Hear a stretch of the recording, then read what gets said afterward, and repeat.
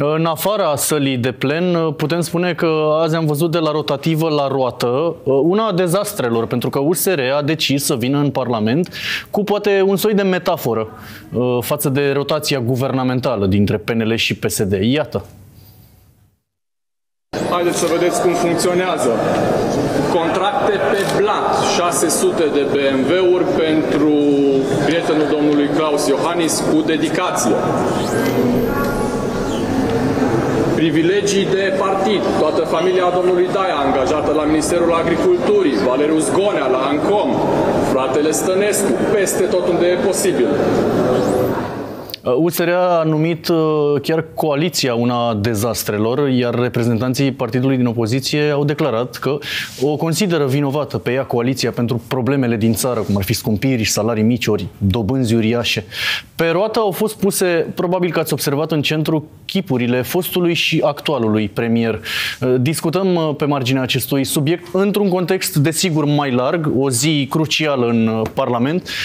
Invitații Euronews România, deputatul Cristian Cristian Zeidler, tocmai ce l-ați văzut în imagine de mai devreme, și deputatul Gabriela Vărmescu din partea Partidului Național Liberal. Domnilor, vă mulțumesc mult pentru prezență. Vă mulțumesc țineți de jocuri de noroc, domnule Zeidler? Nu, tocmai asta spuneam, că nu e un uh, joc de noroc, este o nenorocire cât se poate de serioasă, din păcate, pentru uh, România. Pentru că în ultimele 18 luni, toate acele lucruri care erau înscrise pe roata dezastrelor s-au întâmplat nu pentru că o spunem noi, ci pentru că sunt date obiective, adică faptul că scumpirile la alimente au depășit 30%, aceasta e o informație de la Institutul Național de Statistică. Faptul că România are cel mai scump preț la energie, deși e producătoare printre puținele uh, țări producătoare de gaze naturale din Uniunea Europeană și cu un potențial energetic și în rest pe curent electric, astea sunt date de la Eurostat, adică nu sunt lucruri pe care noi le-am inventat de undeva, am lucrat cu materialul clientului. În plus, ne spun românii lucrurile acestea, le simțim cu toții în buzunare.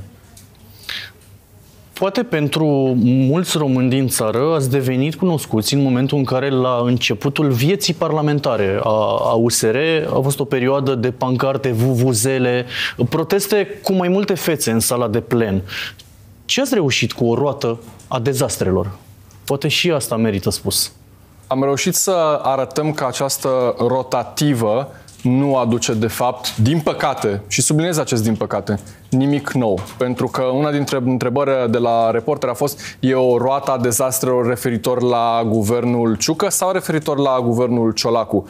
Și vedem că sunt aceiași oameni cu un program de guvernare luat copy-paste, cu aceleași idei, un discurs fals, cum l-au avut și pe timpul uh, guvernării uh, Ciucă, Așadar, de la aceiași oameni, cu aceleași idei, cu aceleași metehle, de ce ne-am aștepta la alte rezultate decât cele pe care, din păcate, le-am avut și până acum? Înțeleg, nu știm cât de copy-paste, pentru că cu titlul de noutate apare acest concept de patriotism economic. Imediat îl dezvoltăm. O, Cum vedeți roata, domnule deputat Avrămescu? Eu mi-aduc aminte că o astfel de roată văd de obicei, atunci când merg la mine în circumscripție, văd la târgurile și bălciurile comunale. Uh, este o roată care nu arată altceva decât uh, cum face de altfel de, prin 2016 USR politică, politică de bălci. E vreo de minciună bălci, pe această de roată? Bălci, de bălci și de scandal, pentru că asta, din păcate, au livrat până acum în Parlament. Uh, e ceva nereal din ce ați văzut mai în, devreme? În primul rând... Contracte pe blat, în, angajări, în rând, dedicație? Astea sunt lozinci.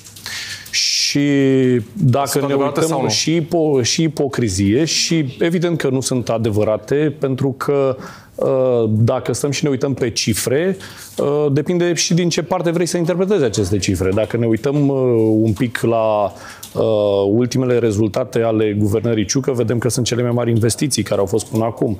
Ne uităm că avem o creștere economică de altfel apreciată la nivelul Uniunii Europene. Ne mai uităm la faptul că avem, uh, cred că, cel mai important program de modernizare a satului românesc lansat uh, din 2021, de altfel de care uh, dumnealor au fugit ca dracu de tămâie, cum s-ar zice. Și acum, Vreți dacă îmi, dați voie, de deficit? dacă îmi dați voie să ne uităm, dacă ne uităm la țintele de deficit, aici trebuie să analizăm cifrele la momentul acesta. Dar dacă mergem până la sfârșitul anului trebuie să analizăm că un an fiscal nu poți să-l analizezi în luna a cincea. Nu putem să analizăm o execuție bugetară în luna a cincea. A, că putem să ne raportăm la primul trimestru sau la al doilea trimestru care încă nu s-a încheiat, asta putem să facem. Dar asta nu înseamnă că din punct de vedere al politicilor fiscal-bugetare, de aici încolo nu putem să avem o abordare astfel încât să ne încadrăm în ținta, în ținta de deficit. Eu, uitându-mă acolo și uitându-mă la... și aici aș înlocui un pic termenul dumneavoastră de metaforă. Cred că ar fi un termen mai corect, o hiperbolă. Pentru că așa a fost și guvernarea USR, o hiper sau prezența USR la guvernare, o hiperbolă. În Dar, sensul de? În sensul de dezastru, pentru că prezența Stați USR... puțin, că hiperbola are alte sinonime. Păi nu, dacă mergem și vedem până unde a fost dramatizat sau accentuată această, uh, această prezență, ea poate să fie și în plus și în minus. Dar eu cred că e aici, eu mă refer la partea de minus. Uh, și cred că uh, atunci când venim să vorbim despre chestiunile astea, am face bine să ne uităm și în propria ogradă. Pentru că avem primăria Bacău, unde știm că este de notorietate situația legată de angajările ilegale la cabinetul primarului. Avem situația de la sectorul 1, unde de altfel sunt o grămadă de uh, achiziții dubioase și controversate. Avem peste tot unde avem administrații de la USR. Doar că... Dacă îmi dați un exemplu fiecare... și din zona puterii, mi s-ar părea că sunteți păi cu adevărat nu, echilibrat. Nu, nu aș putea să vă, să vă dau momentul ăsta, pentru că am auzit mai devreme, domnul uh, Seidler uh, se referea la acele contracte, uh, nu știu, eu nu știu câte contracte sau câte documentații a făcut domnul Seidler de-a lungul timpului pe partea de achiziții și dacă știe care este procedura și cine este autoritatea în materie să considere dacă un contract este corect atribuit sau nu. Pentru Vă rog, domnule Zaidler, ajutați-ne cu un exemplu. Ducem, dacă ne ducem în zona asta, sunt niște autorități foarte bine uh, conturate. Avem un CNSC, avem o procedură care e după aia uh, și urmează calea uh, judecătorească. Sunt chestiuni care uh, sunt foarte bine reglementate în legislație. Ori atâta timp cât nu a venit nimeni cu nimic concret, cu o decizie a CNSC-ului sau o decizie a unei instanțe, atunci astea sunt doar lozinci politice okay. și nu e altceva decât o demagogie pe care a preluat acum aurul, că la un moment dat nici nu mai știi că, că la noi, noi așa ne-am obișnuit în Parlament. Avem o butaforie și vin părând colegii de la aur sau colegii de la USR, că la un moment dat nu mai înțelegi care sunt unii și care sunt alții. Da, îi confund dat, spuneți? Este normal, pentru că doar ei umblă cu tot felul de uh, plăcuțe prin, uh, prin Parlament și au adus această anarhie în interiorul Parlamentului. Și anarhia okay. asta este deja la al doilea mandat. Aveți, și cred că... iertați-mă de curiozitate, uh, aveți dificultăți în a identifica extremismul, de pildă? Uh, extremismul poate fi de mai multe feluri, dar acum depinde la ce formă de extremism vă referiți. Vă rog, domnule Sagler. Bun. Deci e foarte interesant că atunci când uh, colegul de platou vorbește despre guvernarea USR, uită că premier era de la PNL și că majoritatea ministerelor uh, erau la, la PNL. Dar trecând peste exemplele absolut inventate din administrația publică locală, referitor la cele 600 de BMW-uri, a scris presa despre întâmplarea, și spun asta accent accentuat, ca înălțimea prevăzută în acel caiet de sarcini să fie corespuns unei singure mărci. Dar, dacă nu e nimic necurat acolo, mă întreb, oare, fiind uh, vorba despre o achiziție ce urma să fie decontată din fonduri europene, de ce la atâta timp nu a fost încă trimis dosarul spre decontare spre Uniunea Europeană. Presa a scris și despre asta, despre temerea de a semna a, acel dosar de către domnul Bode și l-a lăsat, a lăsat a, pisica moartă în brațele domnului Predoiu acum, pentru că odată semnat acel decont ar putea intra pe fir parchetul a, european, unde nu mai pot spune presiune. Domnule deputat, cu dorința să, fac, să facem din timp un aliat nou un inamic. Vă rog frumos, spuneți-mi un lucru bun pe care îl simțiți identificați în cabinetul propus sau programul de guvernare propus.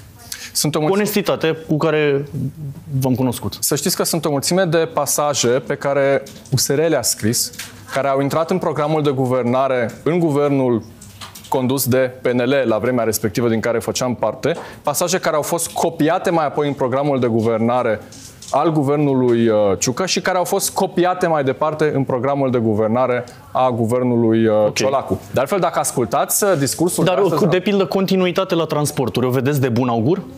Păi... În România, în care de mai bine de 30 de ani Pe bandă rulantă s-au schimbat miniștrii și la transporturi? Întreb. Depinde din ce perspectivă luăm. Dacă ne uităm așa doar de principiu, dacă ar fi bine să fie același dacă e eficient, da, să ne aducem aminte în schimb că recentul încheiat mandat al domnului Grindeanu, pentru care s-a făcut atât de mult tam-tam, înseamnă o mie de kilometri de drumuri naționale și de autostrăzi, de licitații anulate, de proiecte ratate, în această perioadă de un an și jumătate. Domnul Grindeanu nu a reușit în mandatul dânsului să ajungă la acel record care fusese atins de Cătălin Drulă, ministrul al transporturilor, în guvernul comun cu PNL și UDMR, de a avea 660 de kilometri de drumuri naționale și de autostrăzi în lucru da? Deci asta încă nu a reușit niciun alt ministru, nici înainte, nici după. Discursul de astăzi, în schimb, a premierului Ciolacu, dacă m-ați întrebat, și asta am evidențiat și noi în Parlament, uh, a fost și el copy-paste cu toate acele elemente de program ale USR, de proiecte de legi depuse de USR și blocate de actuala coaliție și în mod special de domnul Ciolacu, președinte al Camerei Deputaților, în Parlament. Adică el spune acum că va face toate acele proiecte de, de legi pe care de 2 ani le blochează în Parlament. Ei, dacă asta nu e ipocrizie, Ajutați-mă, vă rog, domnule uh, deputat. Doar o replică aș vrea să-i dau colegului secunde, de platou, pentru că mi-a spus că vorbim fabulații. Vreau doar să îi prezint din ziarul de Bacău un articol din 26 octombrie 2022, se cheamă Declarații explozive în dosarul angajărilor ilegale de la cabinetul lui Viziteu. Viziteu este primarul USR de la Bacău. Dacă Sigur, și care nu e cercetat în acel dosar. Dacă îmi permite să vă spun treaba. E cercetat în acel dosar? Eu v-am citit un articol, v-am citat un articol de presă. V-ați informat? Așa e cercetat că, viziteu în acel dosar? Că vă spun eu, nu, nu este. Nu m-am apucat să nu este. citez, dar... E, ați, să, ați încercat o manipulare, nu v-a găsit, nu, este, nu a mers, haideți este, să mergem mai departe. Nu este nicio manipulare și nu exact cred că sunteți dumneavoastră moderatorul acestei emisiuni să apreciați dacă sau e... Nu, eu vă propun asta Pentru finalul dialogului nostru, domnule deputat Avrămescu, aproape de finalul dialogului, care credeți că poate fi cea mai dificilă dificilă misiune a cabinetului investit deja, care se pregătește de jurământ la Palatul Cotroceni, prima ședință de guvern chiar în această seară. Vedeți o cea mai grea misiune anul acesta? Da, uh, și nu doar anul acesta, și anul viitor, pentru că vom avea un vârf al datoriei publice, vom avea un vârf uh, și cea mai mare provocare va fi tocmai această uh, chipzuire și cumpătare în utilizarea uh, fondurilor publice. Este extrem de... Uh, și aici cred că toată lumea trebuie să fie precaută pentru că, și prudentă. Pentru că nu putem să discutăm în acești termeni, în condițiile în care uh, noi vom fi uh, și va trebui să fim foarte atenți pe încasarea veniturilor statului. Colectarea în zona... Uh, adică mai atenți decât ați fost în sensul acesta? Este, este extrem de important pentru că în momentul de față, și ați văzut foarte bine și în materiale prezentate, avem un minus de 8,5 miliarde în momentul ăsta la Direcția de Mari Contribuabili. Ori tocmai acolo trebuie analizat astfel încât în perioada următoare să existe un echilibru și între programele care vor fi lansate și între programele care, pe care trebuie să le continuăm și este extrem de importantă această creștere a colectării pentru că, din păcate, fără o colectare eficientă nu vom putea să avem toate aceste programe îndeplinite. Succes! altceva ce putem să vă urăm. Mulțumesc, Mulțumesc. foarte mult. Cristian Zaidler, USR, Gabriela Vrămescu, Partidul Național Liberal.